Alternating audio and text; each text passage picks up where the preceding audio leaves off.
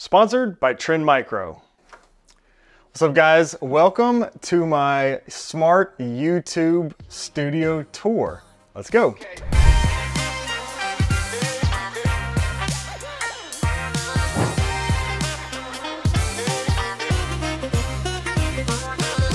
right, so this is the studio. If you've been following me for a while, you know, it's probably a long time making. I still hesitate to publish this because it is a work in progress, but you know, I wanna show you where we're at, where the studio is at. I've been wanting to create a space for a long time that is efficient in terms of recording and editing video, but also just a place where I can kind of hang out, enjoy spending time since I do spend so much time in here and um, you know, be creative and stuff like that. So let me show you what we got. Pretty much everything in here can be controlled through my Apple Home Smart Home. First, we got some furniture. Uh, I do get asked about these pretty often, so I'll put links to everything we talk about down below in the description. I gotta give a shout out to my wife who helped, also is holding the camera right now. Shout out to Caroline.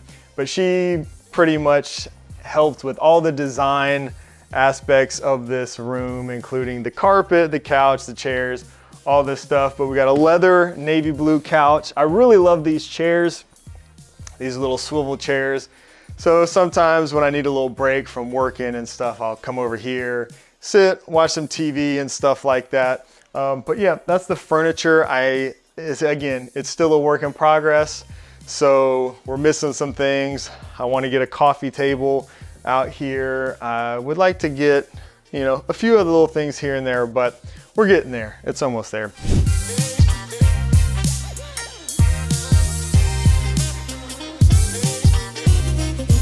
So now let me kind of take you around the room and I'll show you all the smart stuff. I'll get to my desk setup over here, but let's start over here by the front uh, door. First we have the smart lock, smart doorknob unlock the studio. Unlocking the studio. You know, with teenagers and kids, a lot of people in and out of the house, uh, this is cool to add a little lock. Don't worry, I'll work around you. um, but yeah, I love this smart lock. It supports thread. Did a whole video on this pretty recently. You can check that out if that's something you're interested in. and coming over here, you've probably seen some of this in the background of my YouTube videos, but we got my 100K plaque. We've got my Eve flare. So this is the portable little globe light, really cool. Uh, it's like waterproof and everything too. Changes colors, supports Apple Home over thread. Really love this thing. Got a little smell good going on right there. This is a satellite for my router. So this is hardwired to my main router so I have good internet. Always recommend a good mesh Wi-Fi system for any smart home. I'm using the Orbi Wi-Fi 6E. Currently next to it I have my Abode security gateway so uh, some of the sensors and stuff will connect to that, little security system uh, for the house. All right, oh, in the corner, this is a Govee floor lamp. Now that doesn't support HomeKit or Apple Home natively. I am using Homebridge to bring in some things here and there like that so that can be integrated into my HomeKit scenes and automations. But most of the stuff that I use does support Apple Home natively. I do have some Lutron Caseta switches, so I'm a big fan of the Lutron Caseta stuff. All the Lutron stuff is really good, uh, but this is their newer dimmer and this supports Apple Home. This right here is actually a wireless Pico remote and this controls my smart shades, which I'll show you in just a second. And, oop, I accidentally hit the button. Uh, I do have an Aqara door sensor right here that I can just use for automations and stuff like that when I open and close the door and just, you know, get a status. I can tell when my door has been opened or closed. Back here in the corner, I have just a fake plant and there is a little spotlight. So that's an outdoor spotlight I can't remember who makes that. It's a Tuya, I think, light, but I have that integrated into HomeKit through Homebridge. These are those Lutron Serena shades. These are the honeycomb shades I was talking about. I love these things. Uh, they work great. They're quiet, 100% uh, blackout, so it's nice when we wanna you know, watch TV, watch some YouTube videos or something like that. Again, a work in progress. I don't know what I'm gonna put on this wall yet. I wanna get something cool up here. Haven't figured it out just yet. Right here is a Yeelight smart floor lamp. Um, I just have it included in some of my automations and stuff like that. Next to this, I have the AirVersa Smart Air Purifier. So that supports Apple Home over Thread. Really good air purifier, especially for like a smaller room like this. I uh, really like that. Just got some gear over here in the corner, some lights, tripods and stuff I'll break out every now and then when I need it. So this here is by Grid Studios and these are really cool. They make these like tech art pieces. They got all kinds of stuff. I have here the iPhone 5S because that was actually my first iPhone. All right, and uh, real quick, this is my gear closet. So I do have a, a Aqara door sensor on this as well. So the light will come on and off when I open this and an Aqara light switch is here controlling the light. This is, I put some shelves in here from floor to ceiling to house all of my gear and mostly smart home products and boxes and stuff like that. Uh, but yeah, that's where I keep all the junk. All right, so over here, this is my desk area. This is where I actually film, where I do all my editing and stuff like that. Again, still a work in progress. I wanna put some stuff up here on the wall. Not sure, I do have some ideas, but just haven't implemented that yet.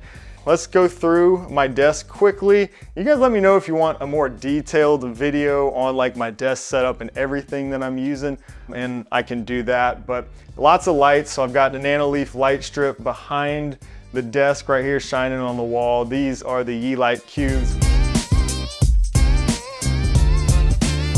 I have a Herman Miller chair that was very expensive, but probably worth every penny. I was having a lot of back pain and stuff sitting in a really crappy cheap chair for a long time. So I splurged and got this and um, it does make all the difference in the world. The desk itself is an autonomous desk, so it's a sit stand desk. I can raise it up and lower it, which is nice. You know, it's good to stand every so often. Slide this out the way. Um, and hopefully cable management isn't too bad. Always needs a little bit of work. Uh, but again, this is where I do all my recording and uh, everything over here. So powering my editing station is the M1 MacBook Pro. Still using this, works great. I have just one cable that plugs this in so I can take it with me if I wanna go edit or do something somewhere else. Uh, and this plugs into a dock right here, which connects my monitor, SD card slots, all that kind of stuff. We have an ultra wide monitor right here that I use for editing. Really love this. I mounted everything in a way that again would make it hopefully as efficient as possible for editing and video recording. So when it's time to record, I can simply move this out the way. This is another arm that I have mounted with my camera usually on it. The camera's right there now, but normally my camera is right here and I can kind of swivel this in, out, around. I can do top down right over the desk if I need to.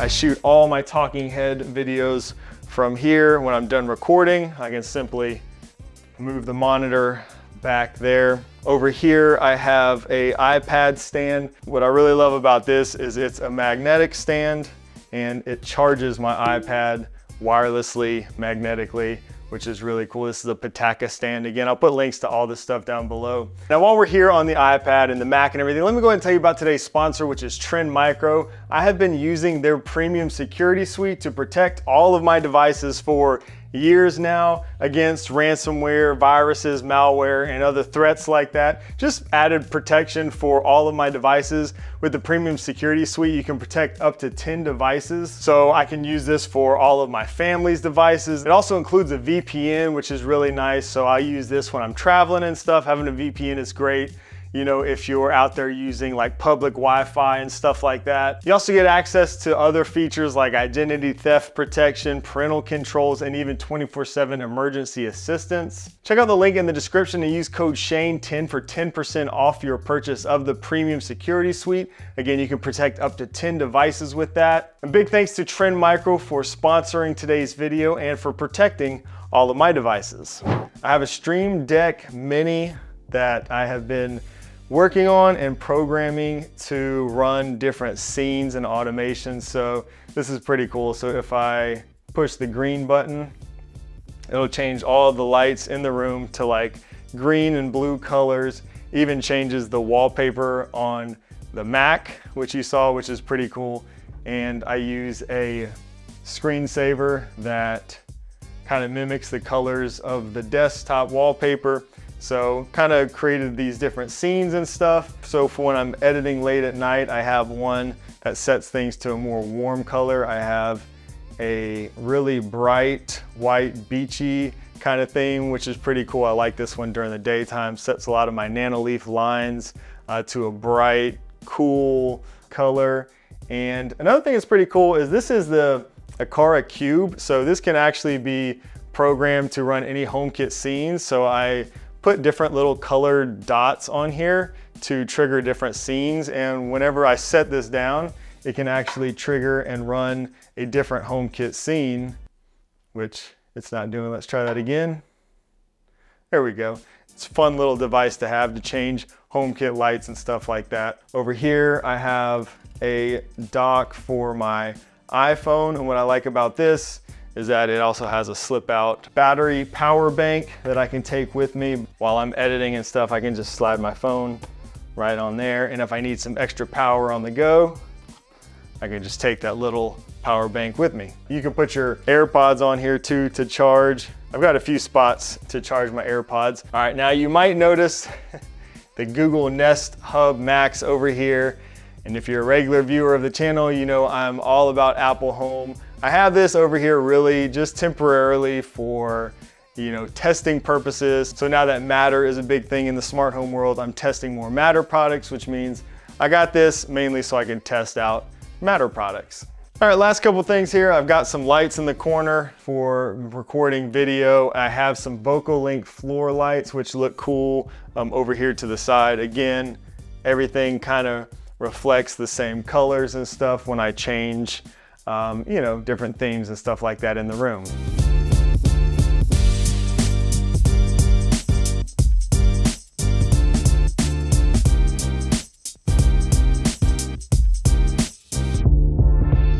Over here, uh, you may have seen this in a past video. So this is an American flag and I, this is kind of a tribute to my grandpa. So I got a lot of his military coins. Some of these are ones that I earned in my, as my time as a contractor, but most of these were given to me from my grandfather and I've been kind of collecting those up here as a tribute to him.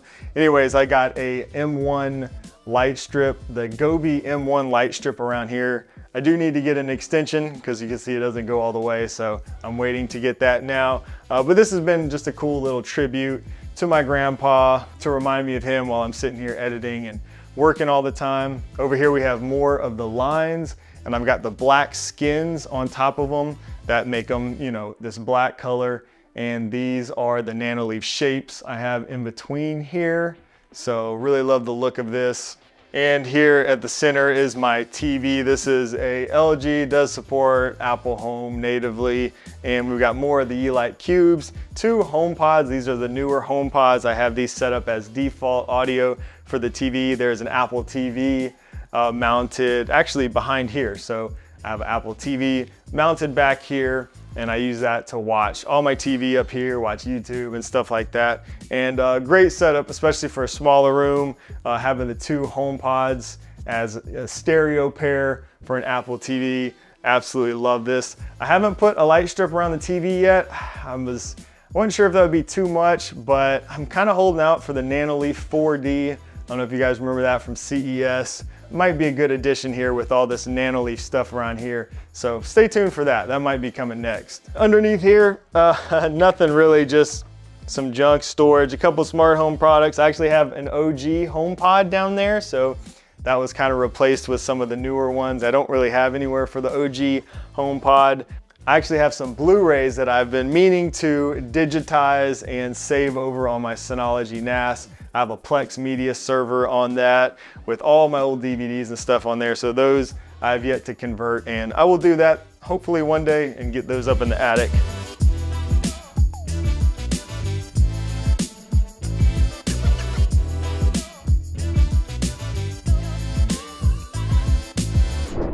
Like I said, we're still a work in progress. Can't wait to get something up here. Maybe I'll do some update videos. Again, if there's anything specific you guys want to see uh, in more detail from today, let me know. If you know me, you know I like my bourbon. This was a recent gift someone gave to me and really cool. Got these Whatley glasses here with the coasters and everything. So might have to get me a little whiskey cart on the back. YouTube, this guy's my handle there, Shane Creates. So this is a really cool gift and I think I might display this somewhere. Got some ideas, I don't know. Stay tuned for more. Let me know in the comments if you guys have any questions about anything specific that I showed you here today. Thanks so much for watching and I will see you in the next video.